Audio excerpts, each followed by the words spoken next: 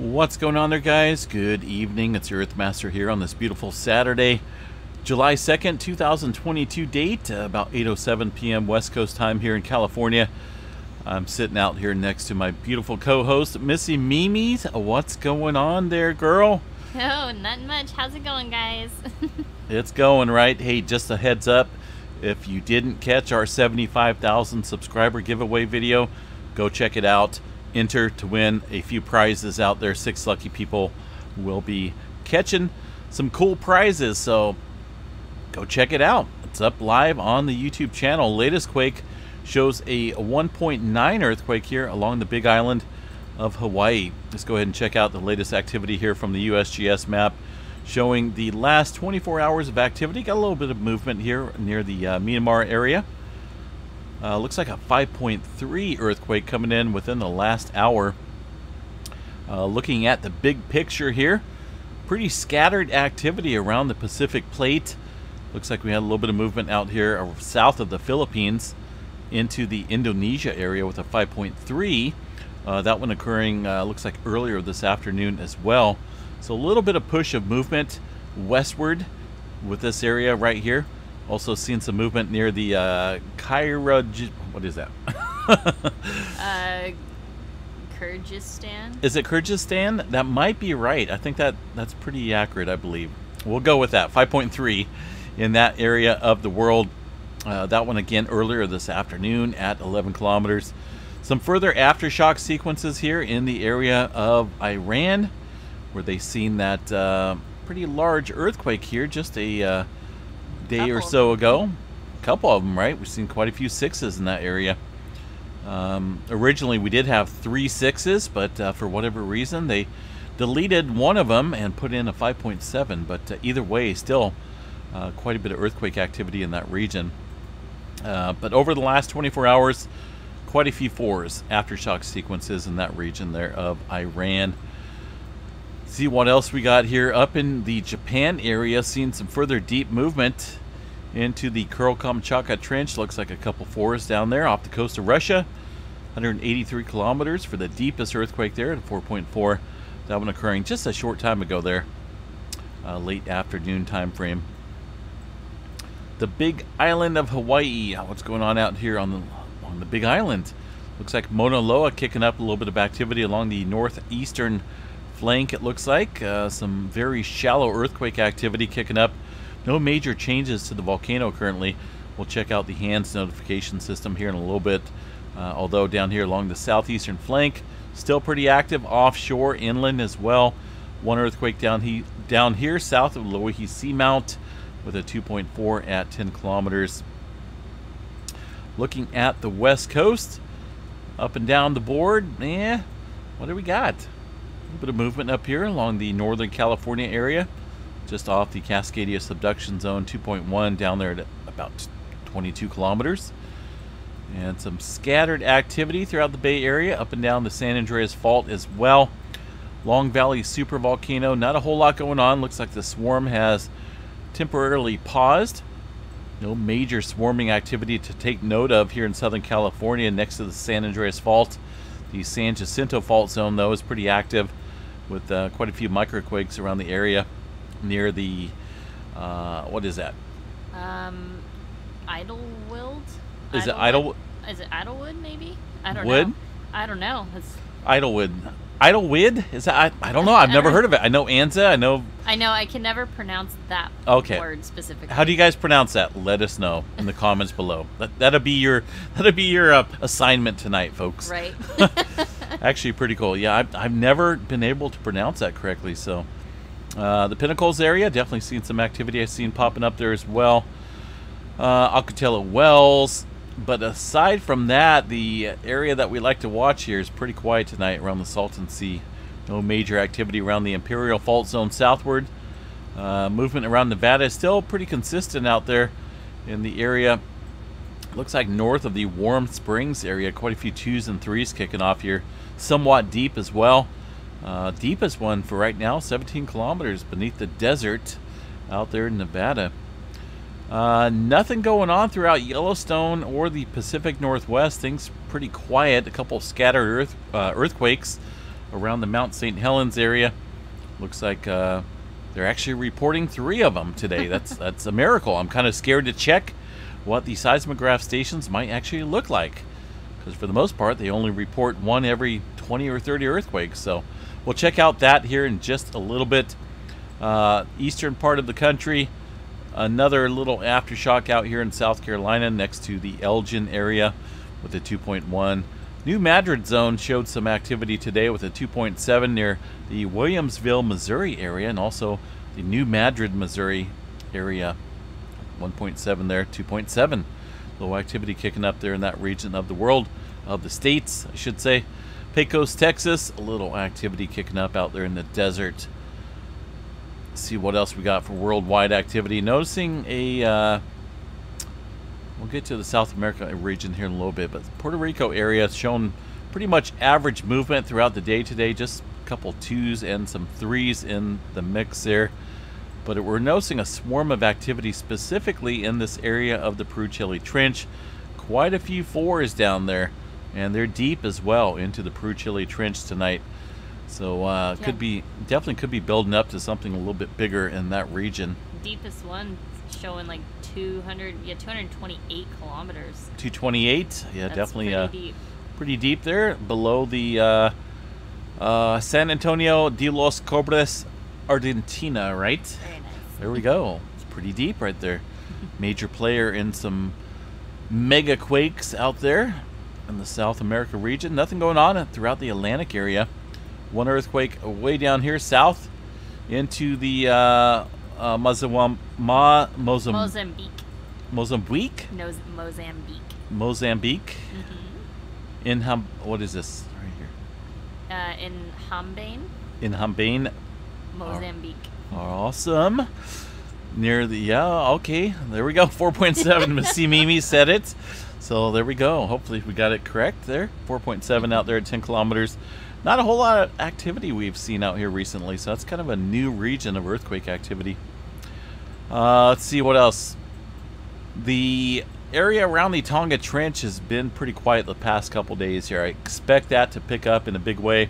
We've only seen a 4.8 Very shallow. very too. shallow earthquake activity back building here, but uh, I'm sure deeper activity is going to be in the mix here really soon around the Tonga area. And with the quiet activity, I think it could be a little bit on the larger side once things start kicking up. Yellowstone National Park, let's go ahead and cover that real quick. Uh, no earthquake activity report. There is some measurable uh, signal showing up here across the northwest corner of the park, um, and it's pretty consistent with wind activity. Looking over here towards the northwest corner of the park, I did check out the Windy app, and we have some gusts up there around 23 miles per hour. Uh, it looks like in the Yellowstone area, specifically over here around the western section. Uh, so that activity we're seeing there, uh, very consistent, like I mentioned, with uh, some wind events kicking up there around this area. Aside from that, no seismograph, or yeah, no seismograph activity as far as earthquake activity goes here. Uh, looks pretty clear across the board. Tremor map tonight. Let's make sure we refresh this. 26 epicenters. Looks like uh, Northern California and portions of Oregon up here uh, underneath the uh, Eugene area. A couple small tremor events. Aside from that, no major tremor movement currently. The volcanic seismicity map here, we'll check out Mount St. Helens and see what's being reported and maybe what's not being reported here. I see three earthquakes on the map in the red circles indicating some reported earthquake activity into the uh, earthquake catalog event. Uh, let's see what we got. A couple here. Looks like a little handful of earthquakes, very small microquakes in the Mount St. Helens area, and uh, some some little yeah, it looks like a little bit showing up here on the map as well uh, throughout the afternoon time frame. Aside from that, things look pretty quiet beforehand. Uh, let's see what else we got here. Uh, EMSC data. We'll double check what's going on with these folks. And um, looks like a little activity kicking up here into the Indonesia area currently over the last hour. The uh, 4.8. There's the uh, Myanmar, Myanmar area with a 5.3. Uh, some movement again being picked up on this map. Some movement down there in uh, New Zealand too. Yeah, there's a couple. Looks like a couple fours kicking up That here. they didn't report. USGS is not showing that. Let's go back to that map here real quick. Yeah, double check that. The only one showing is near Tonga. Yep, look at that. They didn't pick up those fours. Absent, and they're known for reporting 4.0 and above. But some, yeah, it's a weekend, right? Let's party. Forget about the earthquakes. Preliminary earthquake reports. Who needs them? The big one hits, they'll know it. Oh, good lord! but it's true, Right? Yeah, not- pretty much. not like it's a lie. It seems like the weekends they they tend to slack, Slack. off a little bit. Mhm. I, I don't think that's right, but I am not in charge of the USGS. I'm just here to report the data. and throw maybe- it out to them Right? that they need to report. it. Right? Maybe one day we'll be in charge of that reporting system. So who knows? We'll see what happens. All right. So yeah, definitely activity kicking up here, New Zealand area north, um, but still um, no deep activity. So that's an area to watch pretty closely for some further deep movement. Uh, volcano ha- um, hazards. Let's oh, what, what do we got going on here? An error with that. an error. Let's go ahead and check out the. Uh, that's kind of odd. I wonder why that's going on. Kind of scared me. Yeah, what in the world? So looks like Kilauea update here. We'll double check this. This latest update was put out today. Still sitting at an watch and orange level, or uh, watch for the alert level, orange for the aviation code. Uh, doesn't look like there's any significant changes noted around the area. Most of the activity has been confined to the crater like it's been for many months. Um, not, let's see, overflight measurements on June 17th indicated that the crater floor has seen a total rise of about 120 meters. Woo! And that 93 million cubic meters of lava has been effused since the beginning of this eruption on September 29, 2021. So that's how long it's been going on. Uh, pretty crazy, huh? Yeah. It's a lot of lava filling up that uh, that crater area. Can't wait to see that thing overflow. Right. Might be a pretty cool photogenet uh, photo photo opportunity there. Right. Might have to fly out there and, and get some pictures of that. go, babe. I would love to. I am ready whenever. I would love to. Hawaii is absolutely beautiful. Yeah. I've been there. Yeah, but I'm not into the big We don't. Well, you don't have to go to hundred Honol- hundred thousand people on the beach. You don't have to go to Honolulu. I, I put me Hon- on top of a uh, of a volcano, volcano, and I'll be happy. I haven't been to the Big Island, but Oahu and Maui are both beautiful. So you were on Maui. I went to Maui and flew from there to Honolulu. Where's Maui? Or I see. Maui's on the Big Island, Is isn't Mau- it? I, I don't know. I'm, Mau- Maui's right there. oh, okay. The big yeah. This is there. We landed there and we flew on a small plane to Honolulu. All right. Because there you have to get on the smaller planes to go island to island. Been pretty quiet there recently. I want to be. I'd love to be observing the Mauna Loa area and also the Kilauea volcano over here. I would love to be up here around the crater rim, just observing the activity. So maybe one day, just maybe one day, we'll uh, we'll do it. We'll do it. we'll be live streaming from Hawaii. right? Who knows? We'll do it for sure. All right, what else we got, guys? The space weather activity tonight. Uh, let me jump on that real quick, then we'll bounce out of here. Pretty green across the board, 20% chance. That's pretty minimal at best. Uh, no major solar flaring expected from any of the solar flares that are currently facing Earth or facing away from the Earth. Things are pretty, uh, pretty bleak. Not a whole lot going on. Looks pretty dull in my department. 97 here, the coronal hole will be turning into view. Looks like this is a little old. That was updated from yesterday. So the most recent activity looks like that coronal hole is going to be right about here, facing the Earth currently, even though it's not marked. You said you said the solar flares facing the Earth. Uh, the coronal hole. coronal holes. Coronal hole is facing the Yes. Earth. There you go. Thank you. You're very welcome. Thank you. I've been out in the pool a couple days here in this heat, and I think I've been out there too many times. I'm a little bit burnt. a little bit sunburnt. So what else we got here? Uh, yeah, not a whole lot going on. Looks like KP Index is uh, down there in the low green level. And, when was uh, that? That was Red one. last night. We had a uh, a glancing CME hit us with some elevated plasma. The tilt here of the it kind of tilted south here on the interplanetary magnetic field opened up. Uh, allowed some a lot of solar wind stream and plasma to flow in, which created those G1 class um, conditions last night. That's going to be right here, KP index of five. But uh, tonight things look a lot calmer. Not a not a whole lot of elevated anything going on, so we'll see how. Well, we'll see what the sun wants to do, I guess. Right. Just kind of a boring event right now with the solar weather. Not cool, son. We need to get this thing active. get it popping. All right, guys, uh, we're going to bounce out of here and enjoy the rest of the Saturday evening. Uh, we hope everyone has a, a great night. And uh, we will chat you guys a little bit later. But make sure you guys please enter the 75,000 subscriber giveaway. Uh, we're well over 120 entries already. And uh, we got 75,000 subscribers. So if you guys want to win some Earthmaster merchandise, shirts, maybe some coffee mugs, maybe a sweater, a hat, it'll be your pick.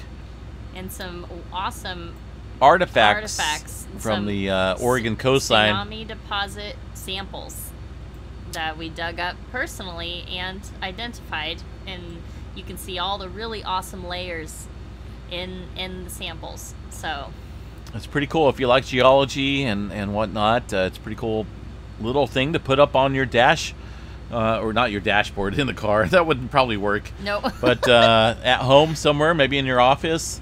Uh, we need we need some Earthmaster bobbleheads for the car. no, let's not. let's not. Bobbleheads, That'd be really? sweet. You'd look so cute Really? as a bobblehead. No, let's not. let's not and say we did. Okay. okay, I can't believe you even thought about that. that's awesome. oh goodness, I had to add a little humor in here. bobbleheads. Could you imagine that? I That'd don't be know. sweet. You and your Earthmaster shirt and your Those things- sunglasses and hat. Those things have always freaked me out a little bit. I'm not a big bobble fan, bobblehead fan. It's just Uh. they're weird. They freak me out. I mean, they just sit there and they move, and it's I don't like that. It bugs me. it bugs me a little bit. So, okay. all right, guys. Uh, what do we got? Who who do we have up here in the live stream? Let's see what we got. Ooh, a whole bunch. Thank you, Broken Wrench, for taking care of that uh, issue there. Happens every now and then. Good evening there, Robert. Still in SoCal. Thanks for checking in. I love the seismographs. I know. I'm glad you found the uh, emojis there. Um, hey, Freebird. yeah, thanks for humor. thanks for uh, posting that link as well, Broken Wrench. Yeah, the uh, there's going to be spam, unfortunately. That's just ridiculous right there. I know, right? Ridiculous. So, all right, guys, have a good day. Have a good night. We'll see you guys back here tomorrow sometime. Peace out, everyone. Have a good night, guys.